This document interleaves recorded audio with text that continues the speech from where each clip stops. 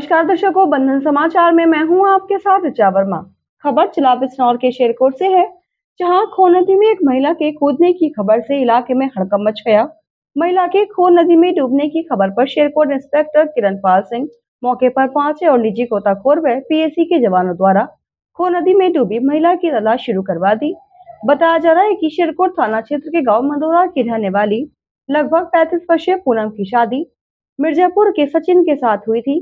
पूनम के तीन बच्चे हैं। पूनम के परिजनों का आरोप है कि पूनम का पति सचिन अपने परिवार वालों के साथ मिलकर उसको तंग करता था। आए दिन झगड़ा होता था, इसी से नाराज़ पूनम घर से लापता हो गई थी, जिसकी शेरकोट थाने में गुमशुदगी दर्ज कराई गई थी। बताया जा रहा है कि बीती रात शेरकोट पुलिस को सूचना मिली कि शेरकोट पुराने पुल से किसी महिला ने खो नदी में छलांग लगा दी है। पुलिस आनंद फानंद में मौके पर पहुँची और महिला की तलाश शुरू करवा दी। सुबह होते ही तहसीलदार धामपुर जयेंद्र सिंह मौके पर पहुँचे और नदी में डूबी महिला के परिजनों से जानकारी ली।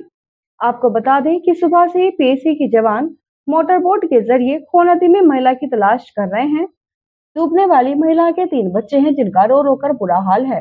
पूनम नाम की लड़की है और ये पारिवारिक कलह से गायब हुई है और इस खो नदी में ये चप्पल मिली है लेकिन टूटते हुए